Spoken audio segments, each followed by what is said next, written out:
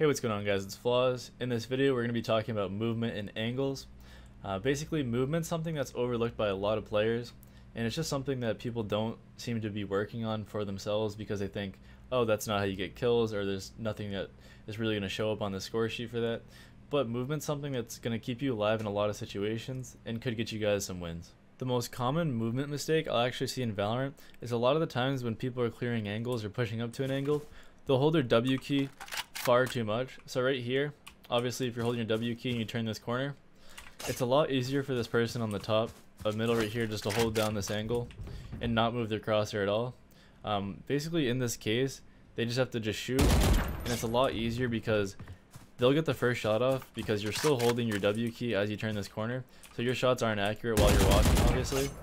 Um, so what you should be doing instead in this case is actually just holding your D key like this and that way you're actually swinging the corner a lot faster. This person holding top middle, I'm going to show you from their point of view. If you're like this, you have to move your crosshair with them, and that's just going to basically make it a lot more difficult for this person holding the top middle. So you guys should be using your A and D keys to swing corners instead of just your W key, so keep that in mind. Counter strafing is something you guys might have heard of. Basically what counter strafing is, is if you guys are holding your A key and you're turning a corner like this, um, you have to hit your D key to be ordered to shoot right away. It's the same thing with holding your D key, you just have to tap your A key. So if you're clearing a corner like this, hold your A key, tap your D key right away, and that way you're ready to shoot. Um, because you do have momentum in this game, so when you turn the corner and let go of your A key, there still is that split second of inaccuracy. The way tagging works in Valorant right now is if you guys actually get shot while you're moving from side to side, as you can see right there, it slows you down a pretty drastic amount. But if you guys are trying to cross a corner like this, and you can see that maybe there's someone holding on the other side, you can jump and you won't get slowed until you actually hit the ground. So I'm gonna show that right now. As you can see right there, I wasn't slowed till my feet actually hit the ground, and that way you can just get around corners safely. So the way Sage works right now is actually, um, you can hear people running through the ice, but walking through it won't be heard, as you can see right here. And also, if you guys jump right before you get to the actual ice piece itself, as you can see like this, you can make it pretty far with the jump, but after that you're slowed and there's no way you can bunny hop through it anymore.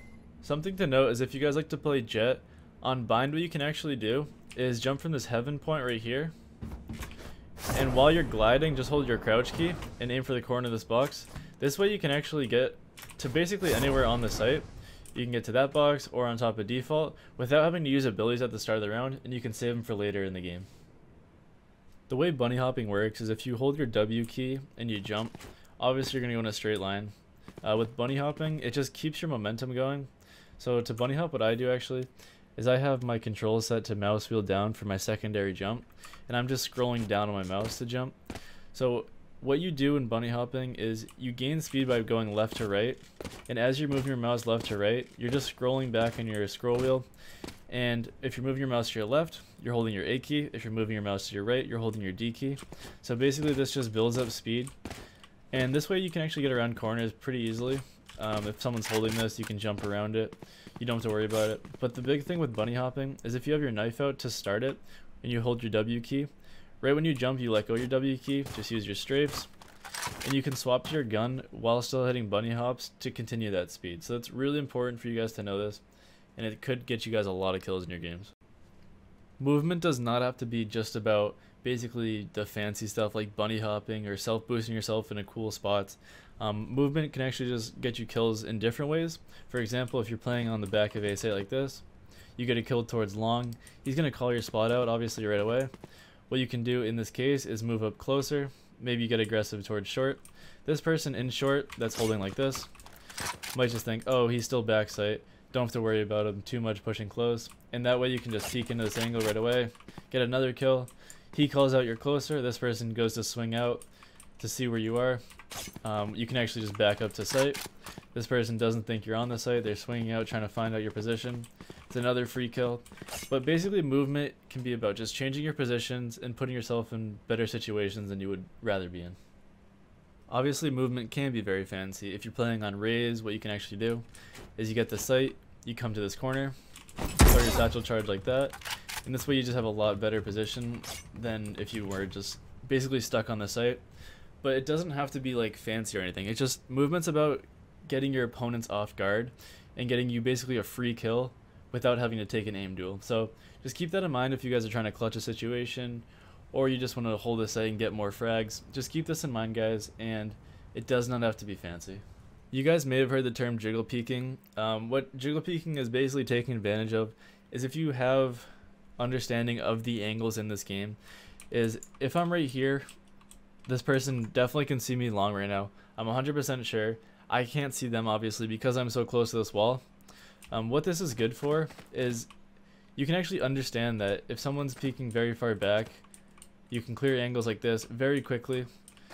Obviously, it's a lot wider space to clear. Um, you're not just going to clear the whole entire back of C site right here by turning this corner.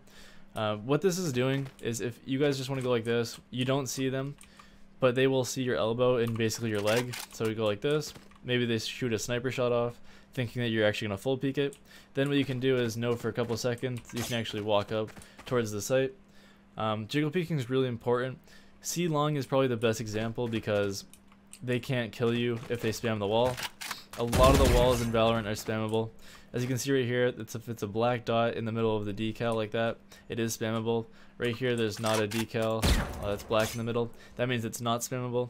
So just keep this in mind, guys. Um, if you're gonna jiggle peek, just make sure they can't spam you down right after. Like the wood right here, if you're jiggle peeking this, obviously they can just shoot the wood and probably get a free kill on you. So keep that in mind while jiggle peeking, guys. But it is really good to know. So the way angles work in a lot of FPSs, in Valorant is no different, is actually the closer you are to the wall you're peeking, the more of a disadvantage you usually are. Um, in this case, obviously, like I just said, if you're very close to the wall right here, I can't see anything long, but I guarantee you that they can see a little bit of a part of me. And that's just basically not good for the person peeking because I'm at a huge disadvantage if I actually swing out because they can already see me like a couple frames before I can see them. Um, rather, if I was to peek in the very back, like of this wall right here, I have a lot more space to peek, and I'm a lot quicker to peek this angle. And I can isolate different angles while I'm peeking. Um, I don't have to just swing like this and basically have the whole entire site be able to see me. Um, do this while you guys are peeking angles. Also, your gun is on the right side of your character. So if you can, try to peek with the wall on the left side of your character as you peek, like this. That way you can just basically shoot a couple shots off, fall back to your wall, Otherwise, if you peek like this, you're exposed just slightly before your gun actually is able to shoot around these corners. So just keep that in mind, guys. And that's going to get you a lot of kills and probably will save your life a lot more times as well. Also, something that comes with a lot of experience of maps and just playing basically a lot of games is you'll actually be able to clear corners before you even peek into them. So obviously middle right here, I know if I aim just about here and I turn the corner, my crosshair is already going to be ready to go if someone's sniping down here. Um, I am using that D key, again, like I said in the video. So you can peek a lot faster. It's just muscle memory at this point. Um, if you guys want to clear this angle, I know window's right about here. Yeah, as you can see, peek into it. I'm holding basically around the window. What this is doing is you don't have to move your crosshair nearly as much as if you were to like wrap around it like this.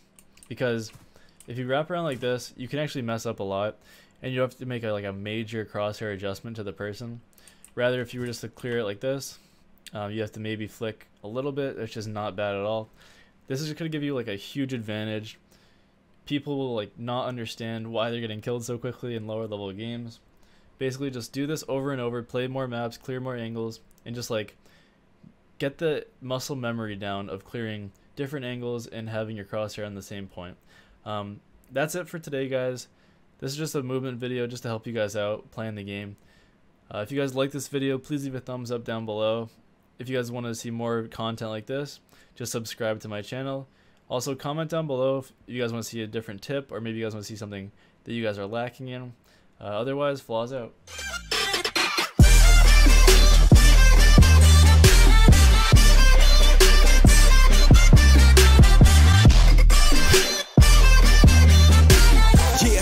Cause I got it like that. Flow so smooth like I got it on tap. Yeah, and I'ma say it be a good night while I'm on my Yuengling, while I'm drinking Bud Light. Uh, can you get it when you miss me? Like I'm with whiskey, drinking Jim Beam. Yeah, baby, do you do it, do it that way? Do you do that? Do you take a break?